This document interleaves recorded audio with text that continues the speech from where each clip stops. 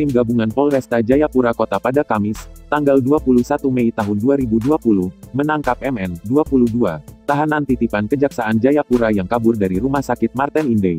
MN dirawat di RS Marten Indey setelah dinyatakan positif virus corona, dan ditangkap di salah satu asrama di sekitar Jayapura.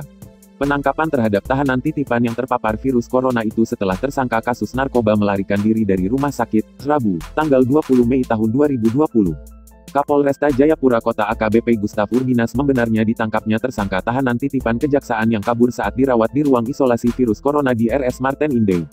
MN merupakan tahanan titipan kejaksaan yang terlibat kasus penyalahgunaan narkotika jenis ganja yang ditangkap Satres Narkoba Polresta Jayapura Kota pada bulan Januari lalu di kawasan Pelabuhan Laut Jayapura.